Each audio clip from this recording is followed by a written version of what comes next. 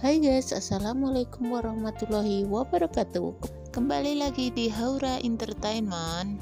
Kali ini kita akan membahas Gambaran drama series Malaysia Luruhnya Bunga Cinta episode yang ke-6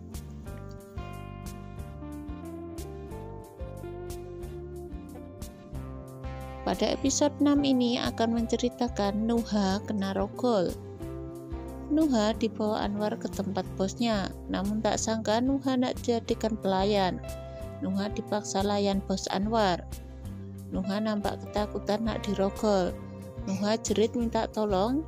Sepertinya nanti Nuha ditolong oleh Anwar. Bos Anwar gagal rogol Nuha, Anwar marah dan hajar bosnya. Dia tak sangka Nuha nak dirogol.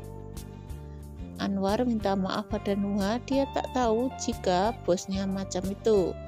Nuha masih ketakutan, dia nampak menangis.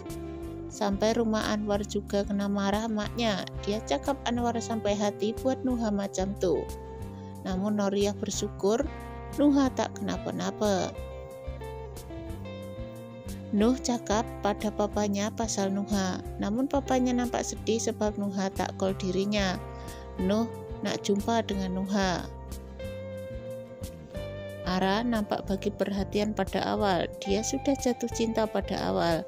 Alin nampak bantu Ara supaya dekat dengan awal. Oke guys, cukup sekian pembahasan kali ini. Terima kasih sudah menonton video ini. Jangan sampai ketinggalan update selanjutnya. Jangan lupa di like, comment, share, dan subscribe. Wassalamualaikum warahmatullahi wabarakatuh.